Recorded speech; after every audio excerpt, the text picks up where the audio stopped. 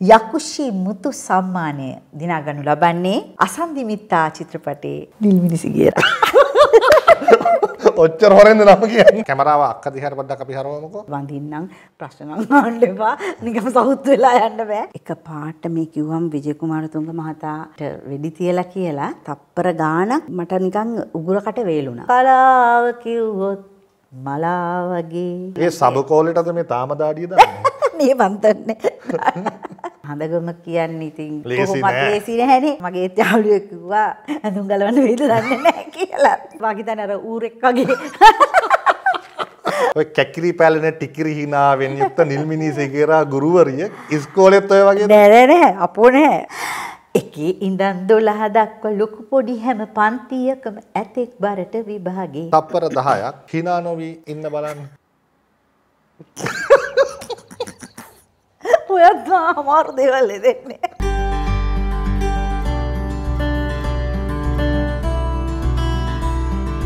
සුප්‍රසිද්ධ චරිතයක අප්‍රසිද්ධ කතා අහගන්න.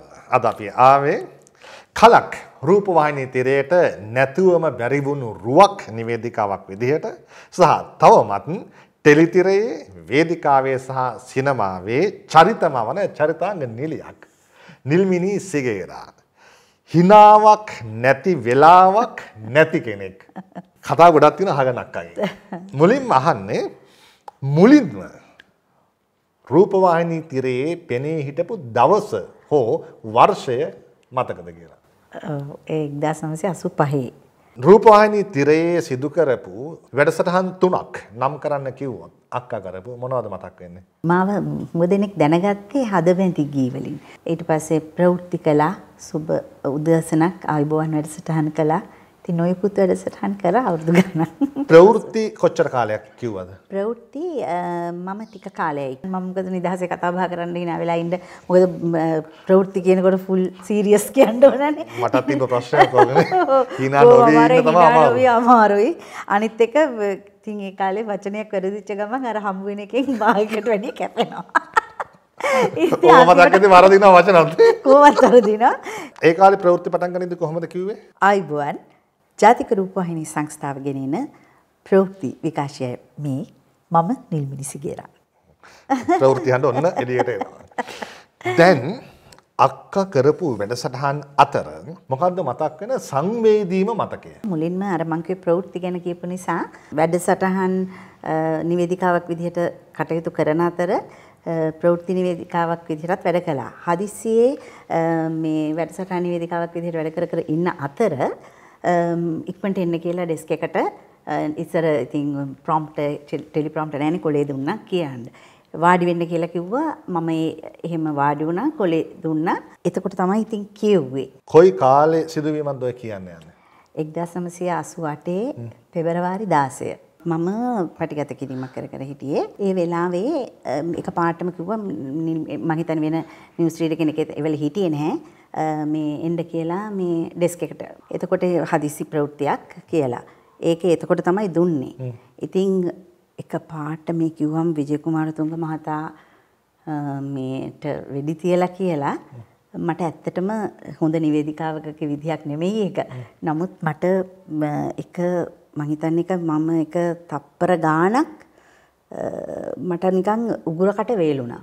සජීවී රූපවාහිනී තිරයේ තිරේ ඉදිරියේ. මට අර කෙල ගිලෙන්නෙත් නැහැ, කියවෙන්නෙත් නැහැ කියන එක එක ඉතින් ඒක ඒක මේ මම ඒක හරිම ඒක මං හිතපු නැති වෙලාවක විජය කුමාරතුංග මොකද අපේ සිහින කුමාරයා. ඉතින් විජය කුමාරතුංගගේ ඒ ප්‍රවෘත්තිය කියන්න සිද්ධ වුණා. ඒක බොහොම කනගාටුයි. ඒ ප්‍රවෘත්තිය කියපු දවසේ අක්කා ඇඳගෙන හිටපු සාරිය එතනින් එහාට අක්කා වෙන වැඩසටහන වලට පාවිච්චි නොකලත් ඒක අමතක නොවන සිහිවටනයක් විදිහට තියාගත්ත කියලා මම අහලා තියෙනවා. ඒක තාමත් තියෙනවා. ඒක තාමත් තියෙනවා. අවුරුදු 32ක් පුරාවට. ඔව්.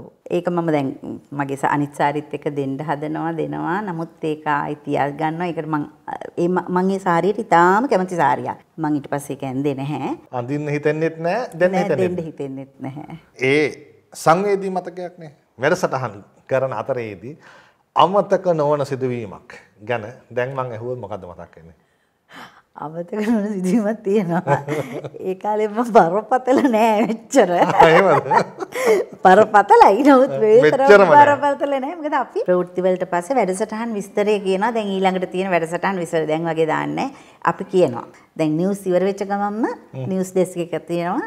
පෙට්ටියක වගේ එකක තමයි වාඩි වෙන්න තියෙන්නේ. කැමරාව ඉස්සරහා කැමරා- වාඩි වෙන්නේ පෙට්ටියක් උඩ. තියෙන්නේ පෙට්ටියක් උඩ. එතකොට මේ සාමාන්‍ය උඩ කොටස විතරයි පේන්නේ. මෙහි හරිය නිකමට අපි කොලේ තියාගෙන ඉන්නවා. කොලේ පේන්නේ නැහැ. කොලේ දිහා වැඩි බලන්නෙත් නැහැ. අපි එහෙමම මතකෙන් කියනවා මීළඟට 8:45ට මේක 9ට මෙහෙම මෙහෙම මෙහෙම කිය. දිගට කියනවා. විනාඩි එකමාරක් විතර වැඩසටහන් විස්තරය කියාගෙන යනවා. විනාඩි දෙකක විතර කාලෙකුත් යනවා සමහරවිට.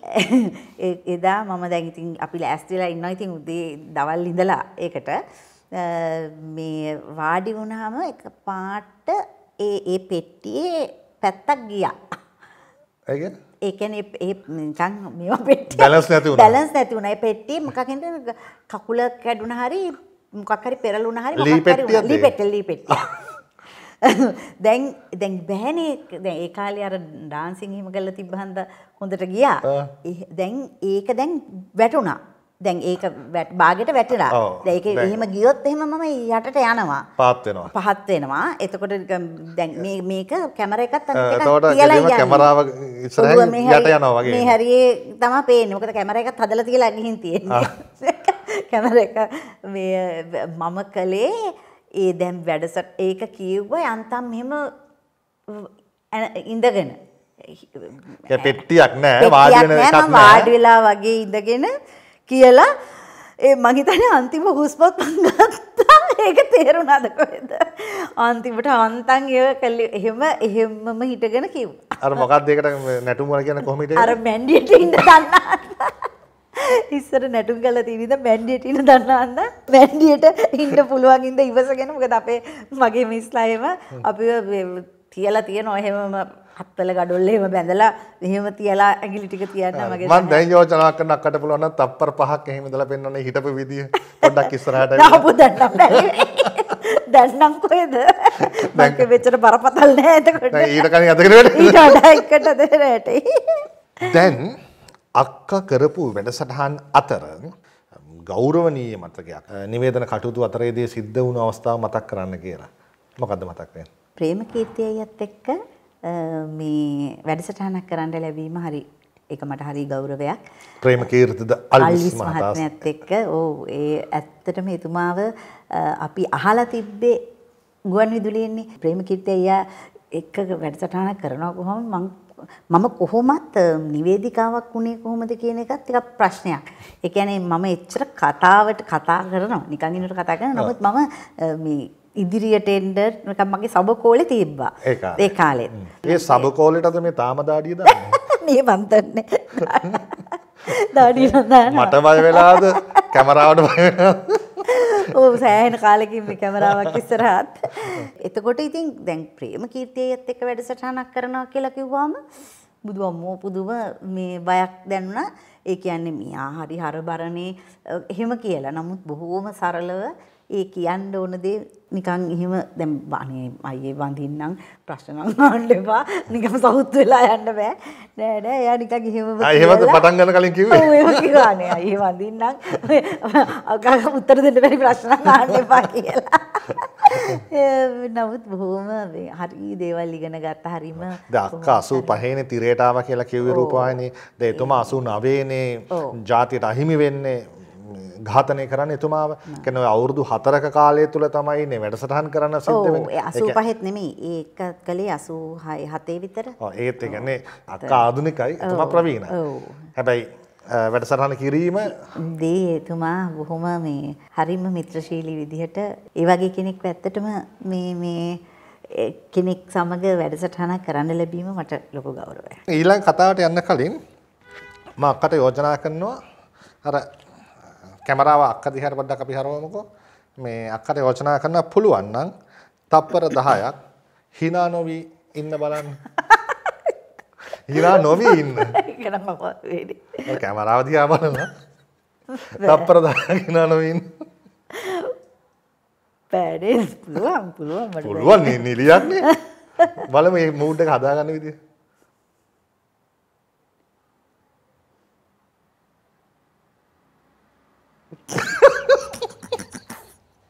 ඔයත් අමාරු දේවල් දෙන්නේ. දැන් චිත්‍රපටයක්ම කරන වෙලාවක මම හිටියොත් අමාද කියන්නේ දෙකට හරියන්න කෙනෙක් අනිත් පැත්තේ ඉන්න ඕනේ. එතරම් ප්‍රශ්නේ තියෙන්නේ. හරි. දැන් මොකද මම ඔහොම කිව්වේ? දැන් අපි යන්නේ මේ ජාත්‍යන්තර සම්මානයක් ලංකාවට ගෙනාපු නිලියක් මේ ඉන්නේ. ඒ ජාත්‍යන්තර සම්මානය ලැබෙන්නේ අක්කට අශෝක හඳගම කියන අපේ රටේ ඉන්න සම්මානනීය සහ ප්‍රවීණ චිත්‍රපට අධ්‍යක්ෂවරයා මේ වෙන විට අවසානයට සිද්ධ කරපු චිත්‍රපටය අසන්දි මිත්තා වෙනුවෙන්. දැන් අසන්දිමිත්තා චිත්‍රපටියට රාත්තල් තුන්සීයේ කතාවක් ගලපලා තිබුණා මේ සම්පූර්ණ ඒක ප්‍රචාරණයේදී. කොහොමද ඒක තිබ්බේ? රත්තල් තුන්සියක ආදරයක්. රාත්තල් තුන්සියක ආදරයක්. ඒ චිත්‍රපටියට අක්කව ප්‍රධාන චරිතයට තෝරගත්තේ ඒ කාලේ රාත්තල් තුන්සියේ බරද නැත්නම් ප්‍රධාන චරිතය වෙනුවෙන් රාත්තල් තුන්සියක් බරක් හදාගත්තද? දෙකම මං හිතන්නේ. මන් දන්නේ අශෝක හඳගම හඳ ආරාධනා කළා මං හිතන්නේ ඒකත් අහම්බයක් එයා හොය හොයා හිටියා කෙනෙක් අ, මේ මේ චරිතය සඳහා අ, එතකොට කියන- මොන වගේ රූපකායක් තියෙන කෙනෙක්ද ඇත්තටම හොය හොය ඉඳලා තියෙන්නේ? මං හිතන්නේ හම අහිංසක මේ මේ මූණ හොඳ හොඳට මූණ අර මූණ ඒ කියන්නේ දැක්කාම ගියකුගේ හිත හිත යන මූණක් තියෙන නමුත් විශාල ඇඟක් තියෙන කෙනෙක්. මං හිතන්නේ ඒකත් අහම්බයක් විදියට ස්වර්ණමල වරච්චි මහත්මියගේ මේ ෆිල්ම් ෆෙස්ටිවල් එකක් තිබ්බා. ඒකට මමත් බලන්න ගියා. ඒ යනකොට ස්වර්ණක්කා මේ ඊ හඳයි කතා කර කර ඉන්නවා ස්වර්ණ මලවර්චි මහත්මිය වාඩි වෙලා අර උඩට නැගිලා තියෙන පොඩි පටු පඩිපෙලේ වාඩි වෙලා ඒ දෙන කතා කරනකොට මං ඉතින් එක්ස්කියුස් කරලා එතන යන්න හදනවා ඔම් සොන්නක් දන්නවනේ කට පැත්තට බිත්තියට ඇලිලා ඔම්බෝ දැන් කොහොමරි අමාරුවෙන් පුටුවකට බර වෙයි මූණ නම් අර ඉස්සර වගේමයි කියලා එහෙම කිව්වා. මමත් එතකොට hina වෙලා කිව්වා ඕ හිත මේක හරි අමාරුවෙන් මම මේන්ටේන් කරගෙන ඉන්නේ. හිතන්න එපා ලේසි කියලා. කියලා මාත් hina වෙලා ගියා. ඊට පස්සේ හන්දයා මම දැක්කා ඉස්සරහට ඇවිල්ලා එනකොට ඇහුවා නිල්මිනි රඟපාන්න අදහසක් නැද්ද කියලා. මං එතකොටමත් ඇහුවා ඇයි මොකක් හරි කන්දක් වගේ පර්වතයක් වගේ එකටද? කියලා. එතකොට හන්දයට ගිනත් ගිහිල්ලා අ, මේ අසන්දිමිත්ත කියවලා තියෙනවද කියලා ඇහුවා. මං කිව්වා නෑ කියලා. එතකොට එයා කිව්වා මම පොත එවන්නම් අසන්දිමිත්ත කියලා කියන්නේ මෙහෙම අශෝක රජුරුවන්ගේ බිසවක්. එයාගේ මිත්තා එයා මේ සන්දි පේන්නේ නැති නිසා සන්දි මිද්ද කියලා මට එතකොට ඉනත් ගිහිල්ලා මේ මම එහෙම චිත්‍රපටයක රඟපාන්න හිතලම හිතුවේම නැහැ. මම මට ඊට පෙරත් ඉතින් මම කියලා තියෙනවා මම චිත්‍රපට රඟපාන්න ආවට මම චිත්‍රපටයක රඟපාන්නේ නැහැ කියන මතේ තමයි හිටියේ. ඉතින් ඊට පස්සේ හද මට ස්ක්‍රිප්ට් එක එව්වා. මම පොත අරගෙන කියෙව්වා. එතකොට ඉතින් හඳගම කියන්නේ ඉතින් ලේසි නෑ. ලේසි නැහැනේ. එතකොට මගේ යාළුවෙක් කිව්වා ඔයාට මොන තරම් ඇඳුම් ගලවන්න වේද දන්නේ නැහැ කියලා. මං කිව්වා ගෝවත් මට මේ මම කියන්නේ මම ගුරුවරියක් කියන එක මම හැමතිස්සෙම කියන දෙයක්. මම බොහොම ගෞරවයෙන් කියන දෙයක්. ඉතින් ඒ නිසා මේ මොන වගේද මේක කරන්න කියලා. බොහොම ඇත්තටම හඳගම බොහොම මේ හරිම ගෞරවනීය විදිහට ඒ කියන්නේ ඒක වෙන අය දන්නේ නැති වුණත් ඒකේ අර තියෙනවා මේ මේ අර නයිටියක් ගලවලා දාන එක. ඒකට එයා ඒ වෙනුවෙන් ඒ කියන්නේ ඒක ඇත්තටම මට වෙන ඇඳුමකට මාරු කරලා දාන්න තිබ්බා. එයා දෙකක් එක විදිය මස්සවල තිබ්බා. ඒ කියන්නේ ඒ තරම් මට ගෞරවයක් අ, දුන්නා. ඉතින් ඒක බොහොම ගෞරවයක් විදියට කියනවා. ඒක කියනවා. අ, මේ චරිතේ අ, කිය- කියෙව්වහම මට හිතුණ දේ නේ මේ කියන්නේ චිත්‍රපට ගණනාවකින් කරන්න තියෙන දේවල් මේ චරිතේ කරන්න පුළුවන් නේද කියලා හිතුණා. ඒ හන්ද ඉතින් මං හා කියලා හිතුවා. ඒ දවස්වල බර මැනලා බැලුවද? ඔව් එතකොට හන්දයා පාරේ කොහෙදී හරි දැක්කාමත් මගේ මුණ දිහා නෙමෙයි ඇඟ දිහා බැලලා කෙට් වෙන්න එපා කෙට් වෙන්න එපා කියලා ඒ පළවෙනි දවසේ කතා කතා කරන්න ගියාමත් සඳලීයයි මට අර පීසා හැම ගෙනල්ලා කවන හරියට මම මේ දැන් මහත්තයයි වගේ කන්න කන්න කන්න කන්න ඔයාටත් ඉතින් මොකද නේ? මටත් මොකද අනිත් එක මම එක්සයිස් කරනවා වස කම්මැලි මම එක්සයිස් කරන්නේම මට දැන් ඕක අර හරියට අර පුතාලා හම්බ වෙන්න ඉන්න කාලේ ඇයි බඩ කියලා අහන්නේ. නෑනේ ඒ වගේ මන් දැන් මේකට ඇවිදින්න හිතන්නෙත් නෑ හොඳට චොක්ලට් කවුරු ඇහුවත් කියන්න හේතුවක් කියන්න තියෙනවනේ. හේතුවකුත් තියෙනනේ මම හොඳට කාලා මාත් තුන කිලෝ 10ක් වැඩි කරගත්තා චන්න දේශප්‍රියගේ කැමරාව තමා මාවේ තරම්ම මහත් කළේ. හැබැයි පුදුම කියන්නේ අක්කේ පළවෙනි චිත්‍රපටියේ ප්‍රධානම චරිතයකුත් රඟපානවා සහ අපේ රටේ ඉන්න සම්මානනීය චිත්‍රපට අධ්‍යක්ෂවරයාත් සෑහීමට පත් වෙනවා විතරක් නෙවෙයි ජාත්‍යන්තරයට සෑහීමට පත් වෙනවා. ජාත්‍යන්තර සම්මාන උළෙලක රංගනය වෙනුවෙන් ප්‍රධානම සම්මානය ලැබෙනවා. මොකක්ද ඒ සම්මාන උළෙල? යක්කුෂි මුතු සම්මානය හම්බ වෙන්නේ ආසියානු අ, චිත්‍රපට උළෙලේ. ඒ මුළු ආසියාවෙම අ, චිත්‍රපට ඒකට තරඟ කරන්න ඉල්ල තිබ්බ ඇත්තටම ඒක වාසනාවක් තමයි ඇත්තටම. අසන්දිමිත්ත වෙනුවෙන් ජපන් යනවට අමතරව තවත් රටවල් වලට ගියාද? මං එස්ටෝනියාට ගියා. ඉස්සෙල්ලම බූසාන් චිත්‍රපට දකුණු කොරියාවට ගියා. එහෙම චීනෙට ගියා. ජපන් ගියේ අක්ක තනියම්ද? තනියෙන්. චිත්‍රපටය වෙනුවෙන් ගියේ තනියම. තනියම. එතකොට ඒ දැන් ඔය- අනිත් එක ඒ එහෙම හිතුවේවත් නැති වෙලාවකනේ. ඒක අහන්න ගියේ. දැන් එදා හිතුවේ නැද්ද සහ ඉංගියක්වත් තිබ්බේ නැද්ද සම්මානය ලැබෙනවා? නෑ. ඒ එකම දේ ඒගොල්ලන්ට මාව හරිය කැපිලා පේනවා මම යන තැන උසරිය ඇඳගෙන ගියේ. ඒගොල්ලෝ මාව දැක්කහමත් අසන්දිමිත්තා කියලා අත වනනවා ඒ හුඟක් අර මේ මගේ නේ. පුළුවන්. එහෙම ඉතින් මේක මම හැම චිත්‍රපටයක්ම නරඹුවා. මට යන්ත කිසි දෙයක් තේරෙන්නේ. ජපාන් ජපාන් ජංචුන්චුන් ගාලා කියනකොට මට තේරුනේ නිල්මිනිසි කියලා කිව්වා. ආ දැන් මේ සම්- අසන්දිමිත්තා කිව්වා. සම්මාන උළෙල බලන් අපේ වගේ මේ අර ඉංග්‍රීසි මාධ්‍යෙන් නිවේදනයක් කළේ තිබ්බේ නැහැ. ඉස්සෙල්ල කළේ නැහැ. පස්සේ එහෙම කිව්වා. නම කිව්වා. චිත්‍රපටයේ නම කිව්වා ඒ හින්දා වේදිකාවට ගියා එන්න කිව්වා සේරම ඉතින් මගේ දිහා බලලා අප්පුඩි ගහනවා. ඉතින් එතකොට අර රටේ අර මගේ කවුරු හරි හිටියා නම් කියන එක ගැන හිතුණා. ඉතින් මේ ඊට පස්සේ ඉතින් මං ඒ- ඒක ලැබුණට පස්සේ තමයි දන්නේ ඒ කියන්නේ මේ නළු හොඳම නිලියත් නෙමෙයිනේ. හොඳම රංගනය. අතිවිශිෂ්ට රංගනය විදිහට බ්‍රිලියන් පර්ෆෝමන්ස් ඒ මුළු සේරම අ, චරිත වලින් ඒ කැරක්ටර්ස් වලින් අශෝක හන්දක මොකද කිව්වේ ඔව් ඇත්තට මං ඉක්මනට මට WhatsApp එකෙන් පුළුවන් ඉක්මනට ඩේටා තියෙන තැනකට ගිහිල්ලා මං ආන්දයට කිව්වා මෙහෙම. ඉතින් යාටත් ඉතින් කොහොමද දුක්ඛ සැප හැම එකම එක හා හා හා කියලානේ ගන්නේ. ඒ නිසා යා අ, කිව්වා "ආ, හොඳයි හොඳයි කියලා. මොකද ඊට දවස් 3කට පස්සේ තමයි රිලීස් වුනේ ෆිල්ම් එක. ඉතින් ඒක ෆිල්ම් එකටත් ලොකු ආලෝකයක්. වුණා. නමුත් ඉතින් අ, මේ අර සහරාන්ගේ ප්‍රශ්නෙත් එක්ක යට ගියා. එහෙනම් දැන් මගේ ඊළඟ ඉල්ලීම දැන් ජපන් වලින් ඒ නිවේදනය කළේ අක්කටවත් තේරුන්නේ නැහැ ඒ හින්දා අපි හිතමු ඔතන නිල්මිනි සිගරා හිටියා නම් නිල්මිනි සිගරාටම තමයි සම්මානය ලැබෙන්නේ කොහොමද? රටට දැනෙන්න සිංහලින් ඒ නිවේදනය කරන්නේ. ඕ යාන මහ පුදුම මම දැන් කය කාලෙකින් නිවේදන කටයුතු කළා. අන්න ඒක තමයි මේ අවස්ථාව ලැබෙන්නේ.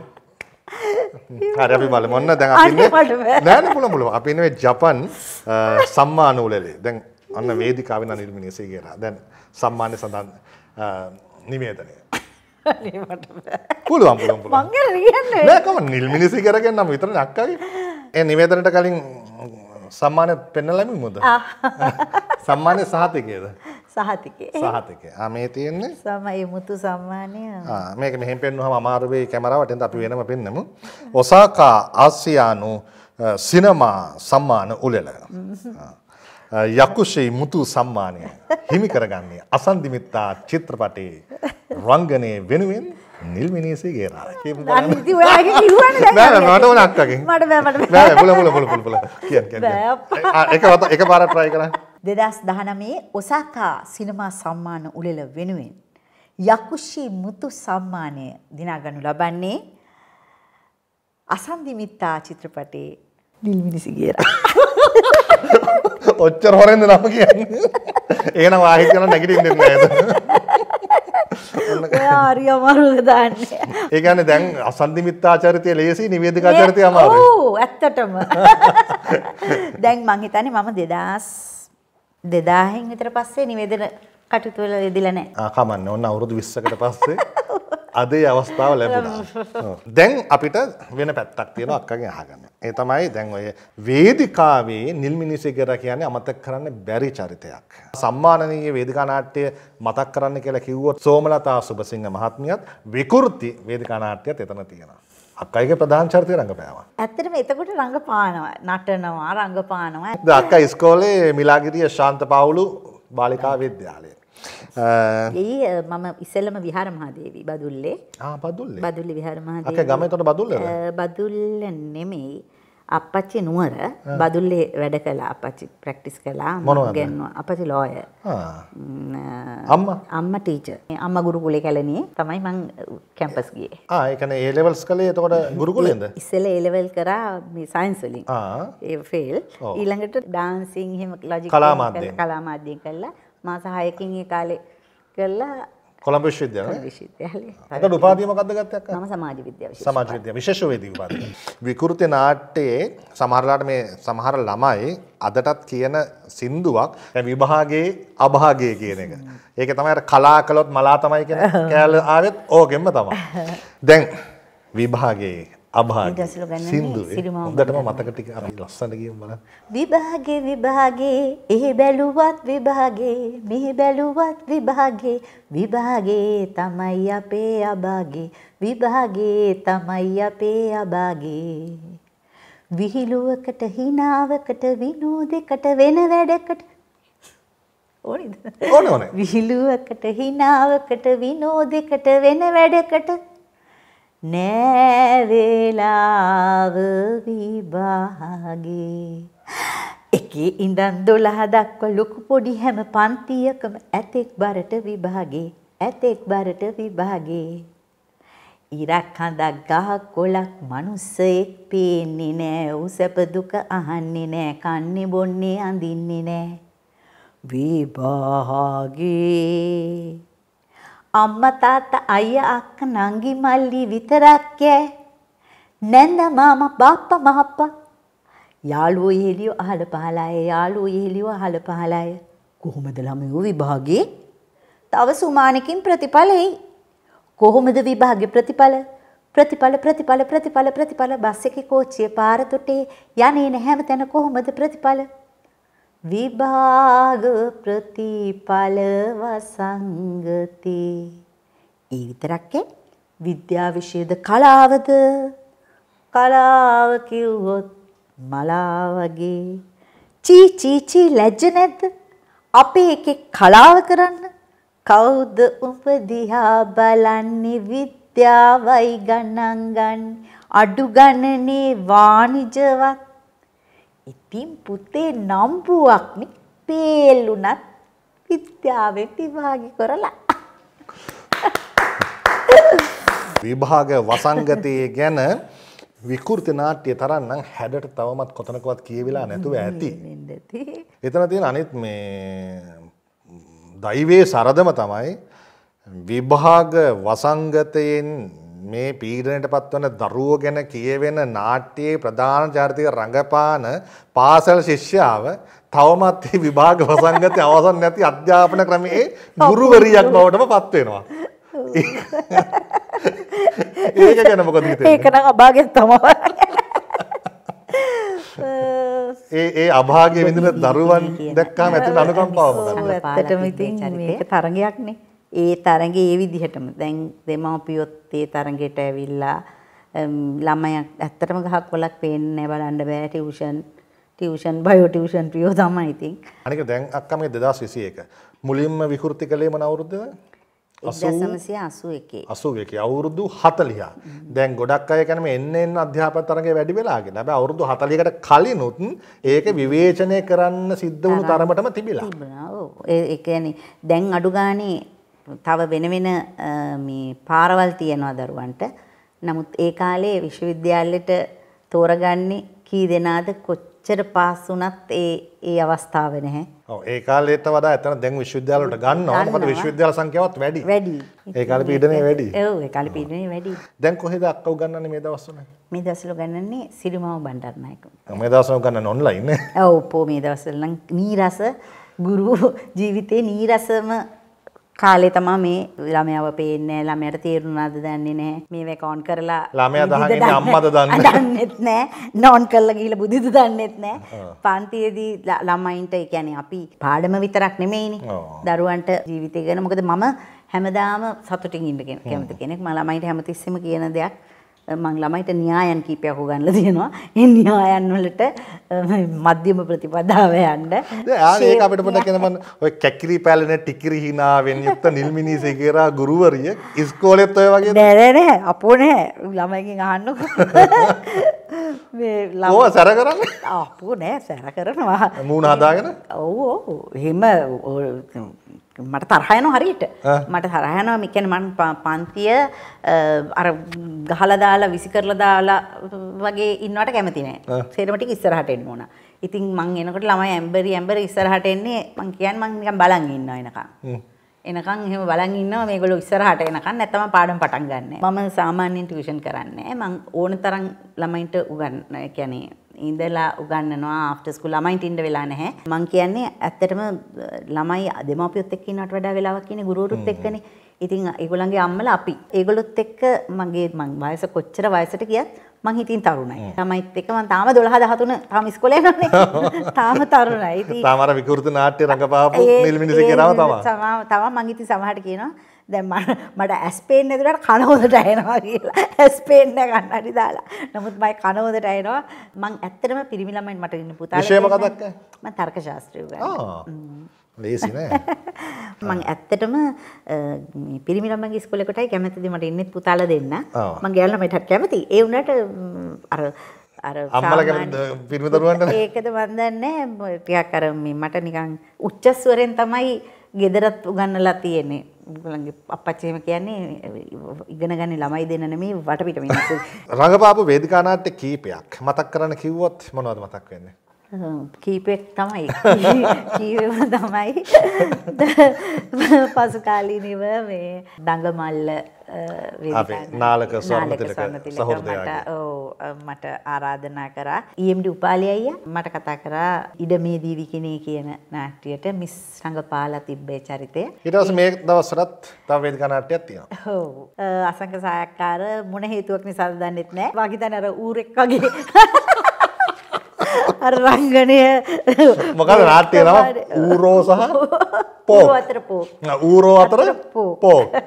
ඇයි දාලා තියෙන්නේ? ඌරෝ අතර පෝ කියන්නේ ඊරියක ඊරියෙක්ට වෙන දේවල්. කියන්නේ කවුද ඊරි? මම